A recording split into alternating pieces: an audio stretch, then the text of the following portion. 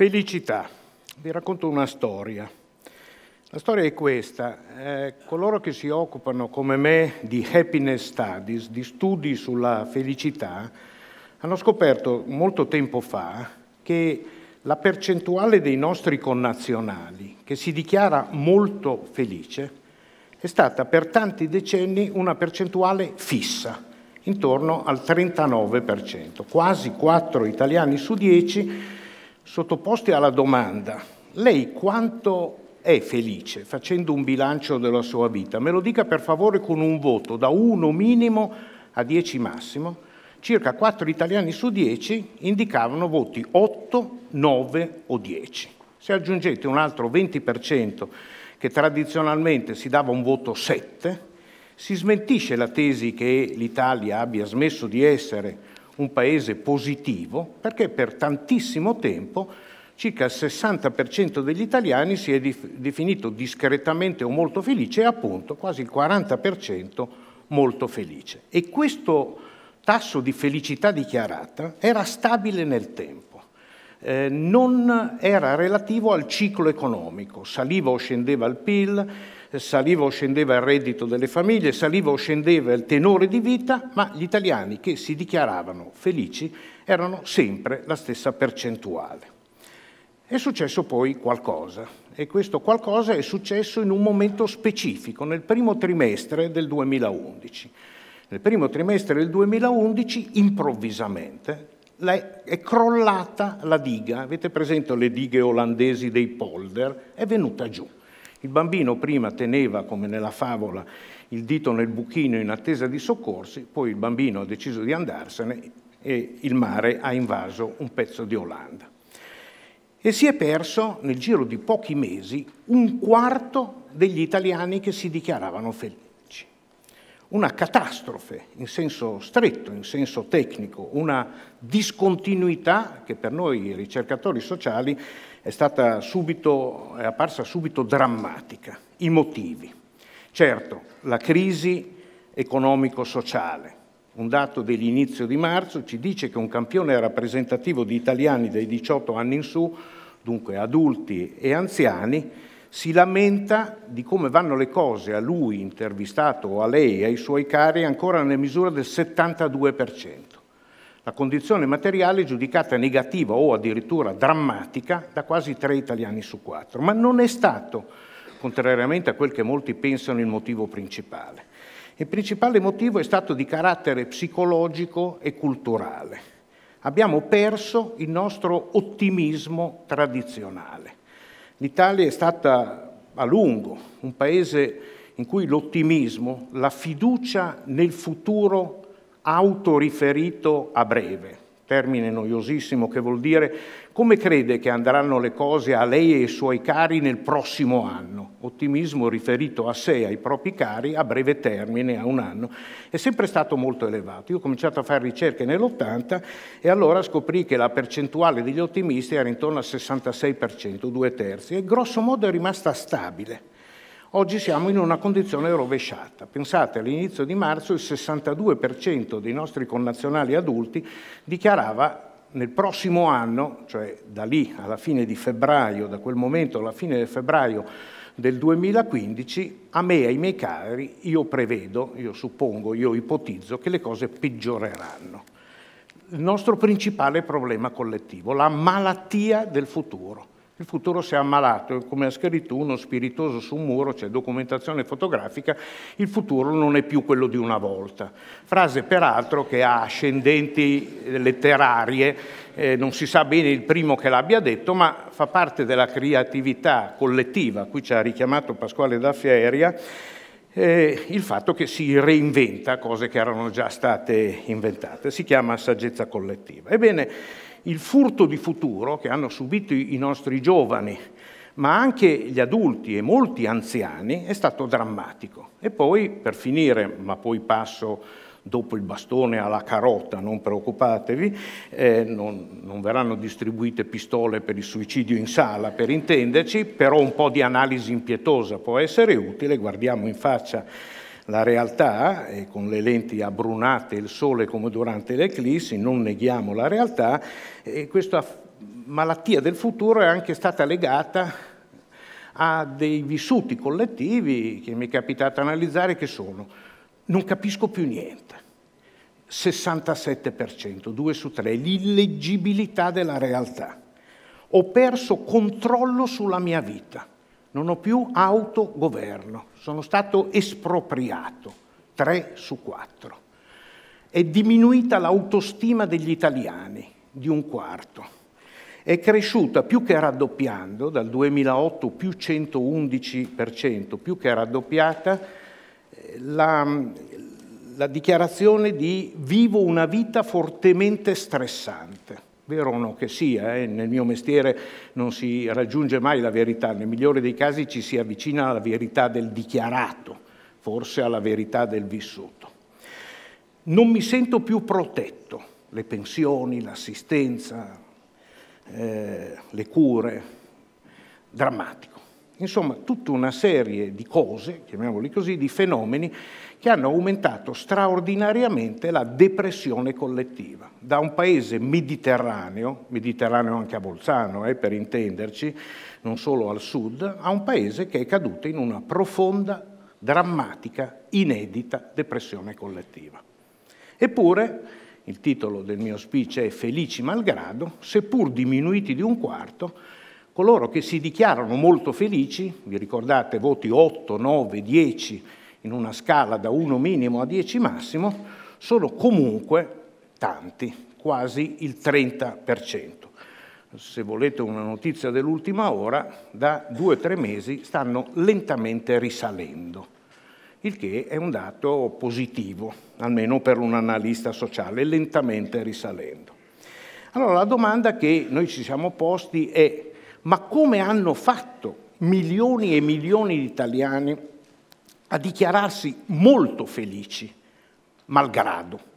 Malgrado questa situazione che ho sommariamente delineato, ma che non ne ho dubbio voi ritrovate nella vostra esperienza personale o almeno nell'esperienza di tante delle persone che incontrate o di cui sentite parlare.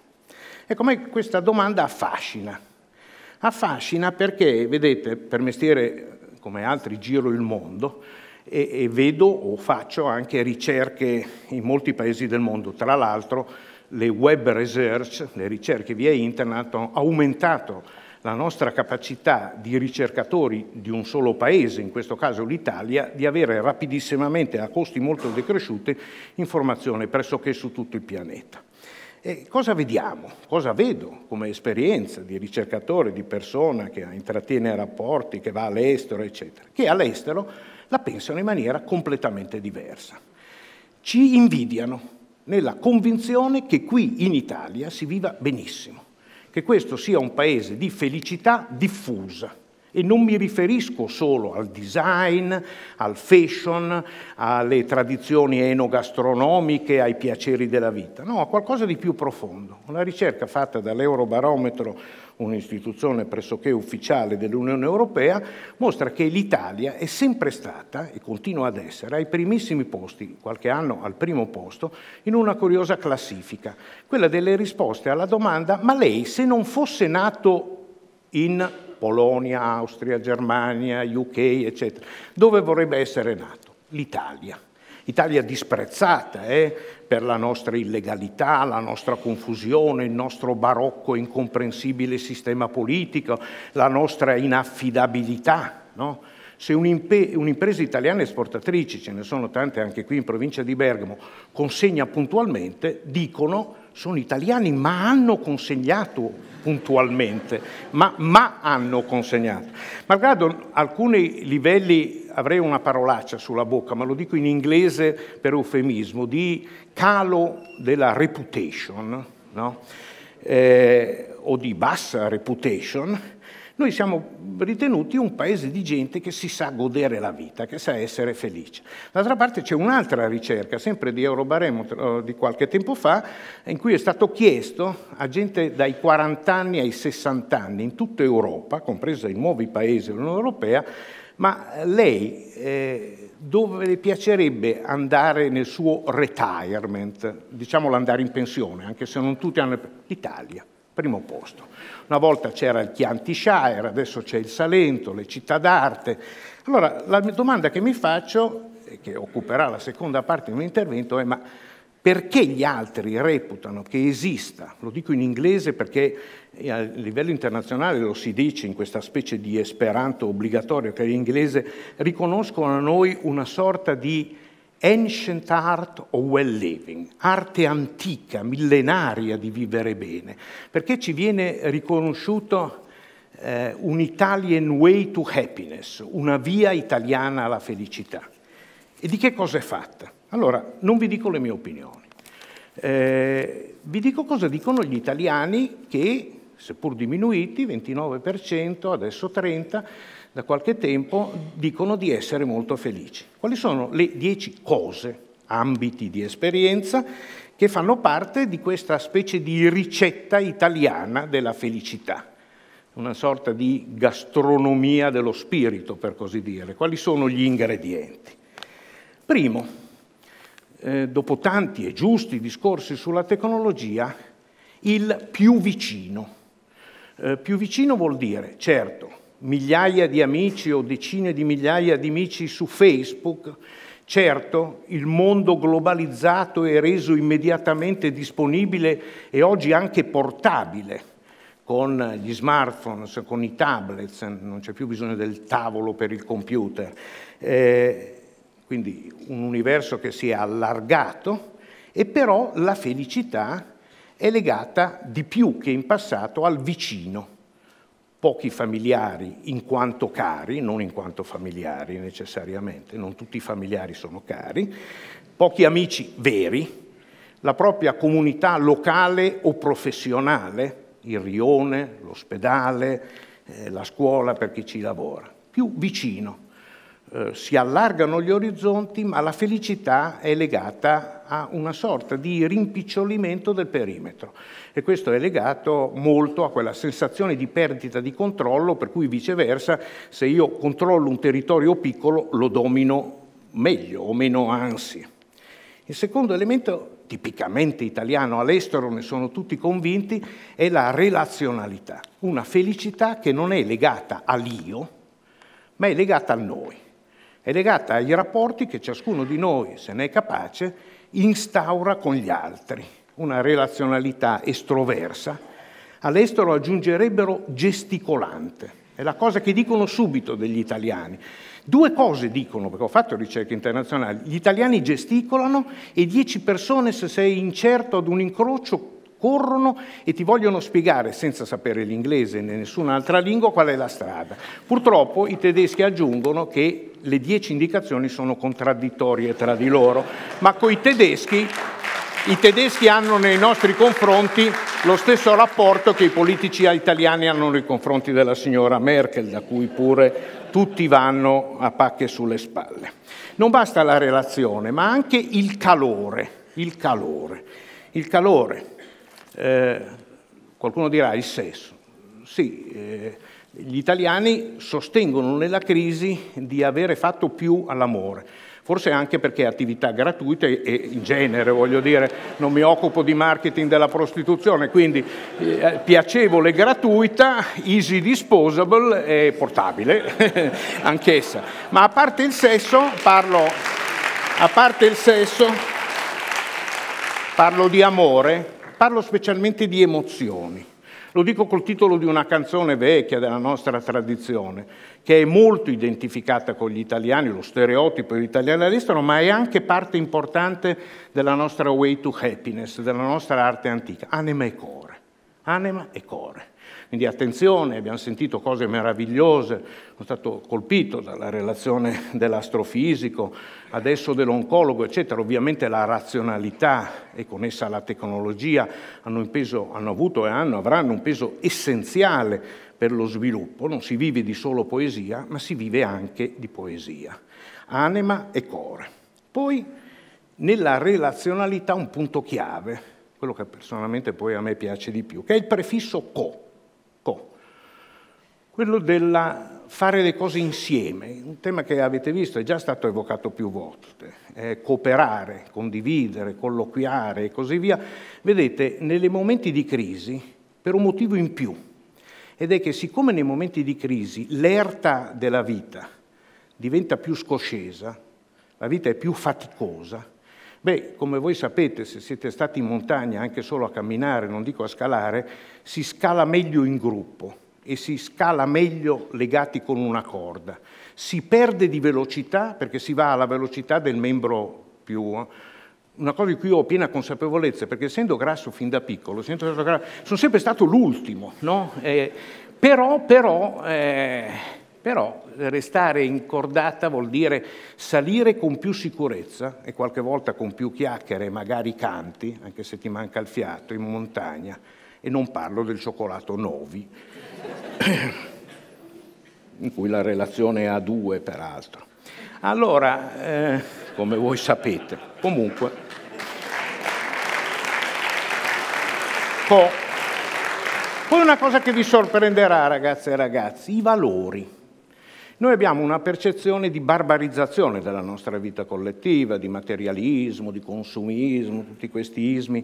Invece non è così. Eh? Guardate che le ricerche che noi conduciamo eh, mostrano che nel fuoco della crisi la gente ha dato più importanza agli ideali agli aspetti immateriali, certo anche perché non si pagano, cioè sono fuori dal circuito monetario, dal circuito economico, commerciale, ma la gente si rende conto che per essere felici conviene, conviene eh, proprio è utile avere dei valori, dei valori che vanno al di là dell'esperienza quotidiana, che per definizione sono condivisi con altri, non esistono valori individuali per un sociologo, per un antropologo, e che fanno una cosa importante, ci fanno da bussola e cioè ci aiutano a fare una delle cose che dà più felicità, che è trovare un senso nella vita. Il senso è una parola bellissima, che vuol dire tante cose, eh, vuol dire anche vomito, mi fa senso, ma specialmente vuol dire direzione e significato. Sono le due cose che noi umani cerchiamo e questa è la vera differenza rispetto agli animali, oltre a dire bugie complesse e a saper pensare alla nostra morte, i veri elementi di distinzione rispetto anche agli animali più evoluti, e noi cerchiamo, a volte troviamo, e quando troviamo siamo felici, un senso. Badate, una direzione verso cui muoversi e che in genere è una meta che non raggiungeremo. E un impegno che si attiva, che non è detto porti a risultati, ma comunque conta il viaggio, conta il viaggio, il muoversi da a, anche senza mai raggiungere e questo aiuta moltissimo. Poi certo il modello italiano comprende quello che in inglese si chiama bliss, eh, che forse tradotto vorrei dire beatitudine, ma che noi di solito negli studi sulla felicità indichiamo come la capacità che noi italiani abbiamo fortemente, quando manca la grande felicità, per esempio perché c'è stato un lutto terribile, perché si è perso un amore, una persona cara, il lavoro, la sicurezza, eccetera, la capacità che noi abbiamo di ricercare le gocce di felicità, non una condizione integralmente felice, ma degli attimi di felicità. La musica che esce da una finestra aperta e che ci emoziona o ci ricorda qualcosa, il sorriso di un bambino, la bellezza di un monumento, il calore della preghiera, ognuno sceglie e testimonia quello che vuole. Siamo verso la fine. Eh, un altro punto è importante, la cultura dell'abbastanza. Mirare a molto, ma accontentarsi di abbastanza. Un punto chiave un punto chiave, perché non è vero, per esempio diventando sempre più ricchi si diventa più felici. Le ricerche in tutto il mondo mostrano che la povertà è un ottimo modo per essere infelici, aiuta molto a essere infelici, la grande ricchezza no. Basta arrivare ad un certo livello e sapere accontentarsi. E poi è stato detto il bello, la bellezza felicita, è stato in parte detto il dono, aiutare gli altri aiuta chi aiuta donare aiuta il donante non meno che il donato e poi per finire sognare. Sognare, e che vuol dire con curiosità anche illudersi. Allora concludo raccontando il concetto di sogno in una storiellina, che è quella di un topolino, intendo proprio un bambino topolino, che vede in cielo un pipistrello animale orrendo, senza offesa, eh, e specialmente pericoloso perché si nutre di topi, specialmente di topolini. Eppure, malgrado questo, questo vuol dire sognare, Il topolino, parlando con sua mamma, dice, è la fine dell'Italian Way to Happiness, mamma guarda, un angelo.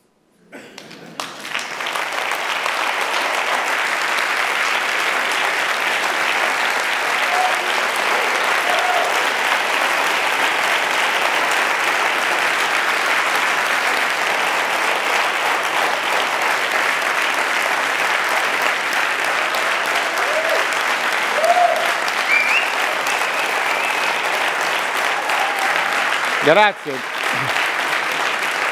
Devo leggere quello che metto lì. Spero che apprezzerete che è un messaggio situazionale. Io ne avevo scritto un altro, ho finto, e ringrazio l'organizzazione, di avere perso il primo, perché ne ho fatto un altro alla luce di quello che ho sentito. E il mio coso recita, dal criceto triste, vi ricordate quello di Fabio Cleto, triste, alla gallina felice. Voi direte perché la gallina? Ragazze e ragazzi, co, co, co, co. Colloquiare, condividere, costruire, cooperare.